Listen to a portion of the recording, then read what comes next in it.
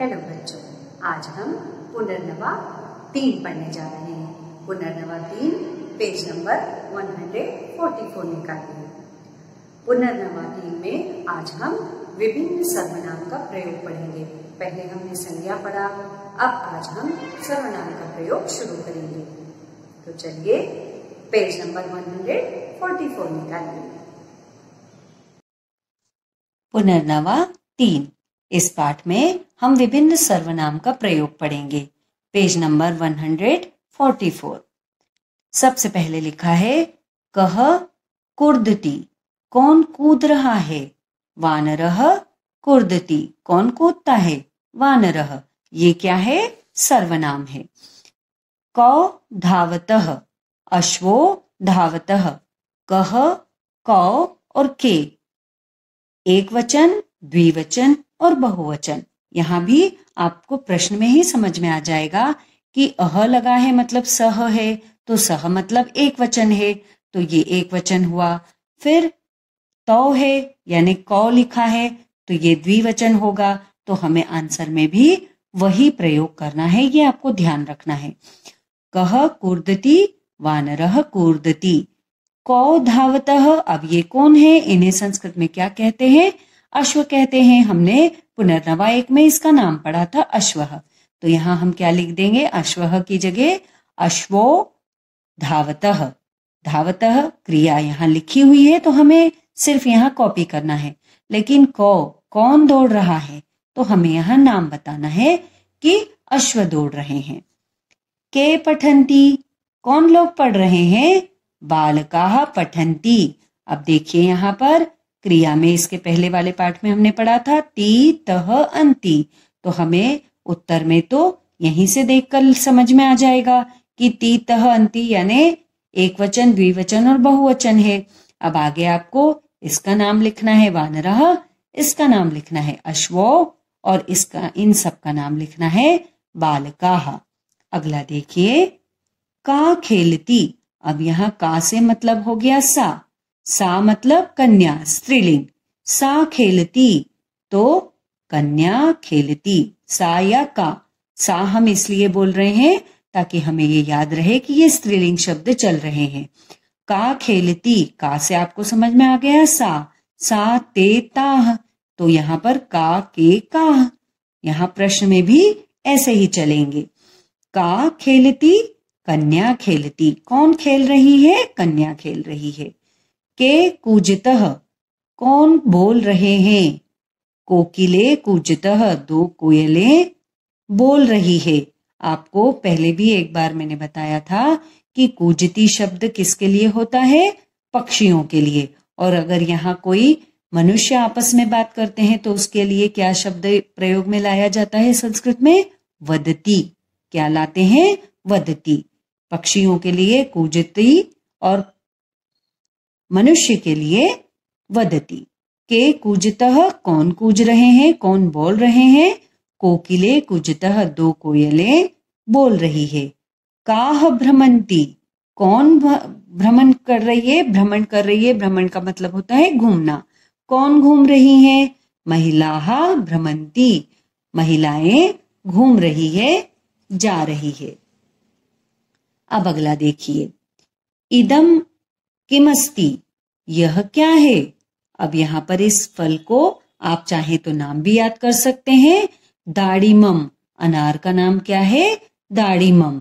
अभी क्योंकि आपको फलों के नाम याद करने का पाठ नहीं आया है, इसलिए आप इसे अभी फलम लिख सकते हैं। इदम किमस्ती? इदम फलमस्ती। यहाँ पर इदम लिखा है मतलब आपको उत्तर में भी क्या करना है? अम लगाना है। ये ध्यान रखना है। इदम इदम तो यहाँ दोबारा हमने आंसर में भी लिखा है, पर यहाँ पर ये ध्यान रखना है कि ये एक फल की बात है, अर्थात हमें अम वाला ही शब्द लगाना है। तो फल तो आपको समझ में आ गया तो फल के बाद अम मतलब म के नीचे हलंत लगाना है। इमे के स्तः, ये क्या है? इमे पुस्तके स्तः, इमे यहाँ भी है, यहाँ भी है, के है तो आपको समझ में आना चाहिए कि यहाँ पर जो शब्द आया है, जिन, जिनका चित्र बना है, उसमें एक ही मात्रा लगाना है। तो ये क्या हो गया? पुस्तके स्तः यहाँ लिखा है, यहाँ भी लिखना है। आपको सिर्फ़ ध्यान रखना है, आपको आंसर लिखना, अपने आप आ जाएँगे। इमानी कानी संति, ये सब क्या है? इदम, इमे, इमानी। एक वचन, द्विवचन और बहुवचन। इमानी यानी ये सब। ये सब क्या है? ये सब इमानी पत्राणी संति, ये सब पत्ते हैं। तो इमानी यहाँ भी है, यहाँ भी लिख दिया। कानी यानी हमको शब्द में आनी जोड़ना है। तो ये हो गया पत्राणी। पत्र होते हैं तो पत्रानी नहीं लिख सकते हैं। संस्कृत में से हम नी को अणी कर देते हैं, अण कर देते हैं। तो पत्राणी और संति यहाँ लिखा है तो यहाँ भी लिख दिया है। अब अगला देखिए। पेज नंबर 145 एशह कह गच्छति? वह कौन जा रहा है? यह कौन जा रहा है? एशह गजह गच्छति। यह एक हाथी जा रहा है। गजह यानी हाथी। गच्छति यानी जाना जा रहा है। ऐशा किम करोती? यह क्या कर रही है? एशह और ऐशा और एतत। ऐशा किम करोती? ऐशा बालिका नृत्यति यह बालिका नृत्य कर रही है, डांस कर रही है।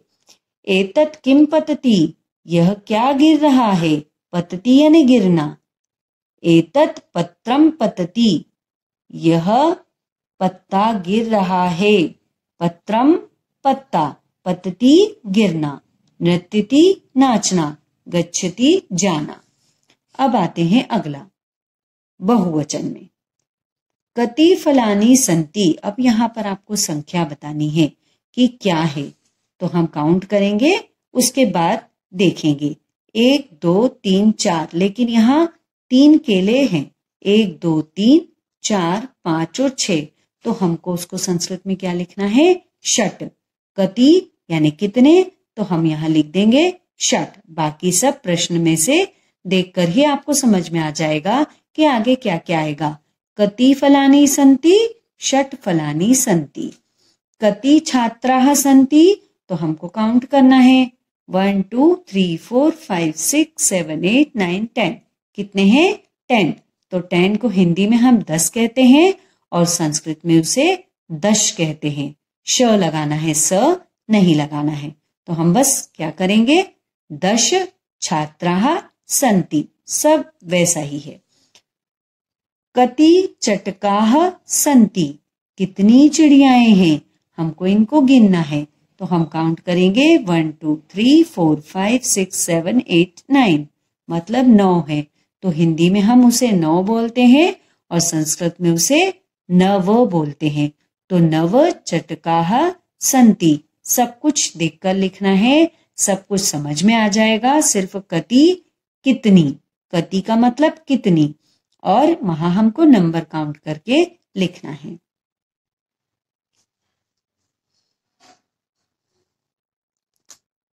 अगला है कति रुपये काणी संति, कितने रुपए के नोट हैं?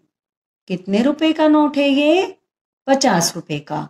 तो इसे हम संस्कृत में कहेंगे पंचाशत रुपये काणी संति। सब कुछ देखकर लिखना है, सिर्फ़ यहाँ पर इसका नंबर याद रखना है कि पचास रुपए को पंचाशत कहते हैं। पंचाशत मतलब पचास।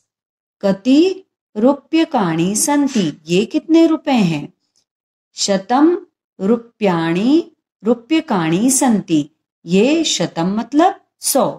पंच पंचाशत मतलब पचास और शतम मतलब सौ।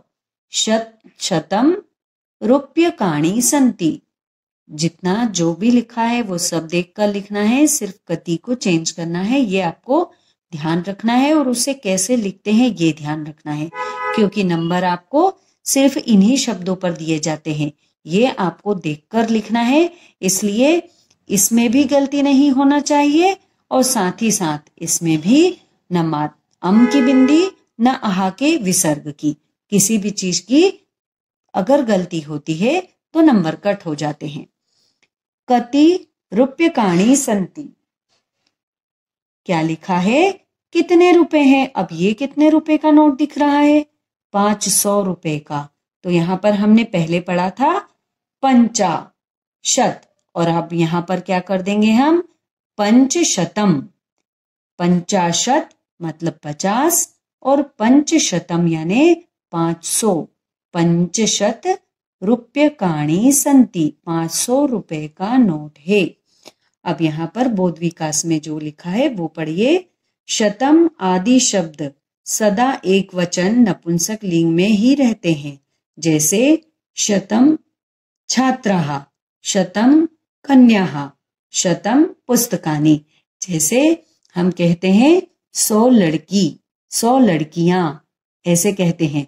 तो हम क्या करते हैं जो शब्द बोलते हैं, उसे ध्यान भी रखना है कि संस्कृत में किसके साथ कैसे शब्द का प्रयोग किया जाएगा। अगले वीडियो में मिलेंगे अगले पाठ के साथ। तब तक इन सभी प्रश्नों के उत्तर की पुनरावृत्ति कीजिए बार बार इसे दोहराइए और सिर्फ़ वो शब्द जो आपको अपने मन से लिखना है, उन शब्द को कॉपी में कम से कम पाँच पाँच बार लिखिए ताकि आपको इन शब्दों को सही रूप में लिखना आ जाए। अगले वीडियो में मिलेंगे अगले पार्ट के साथ। Have a nice day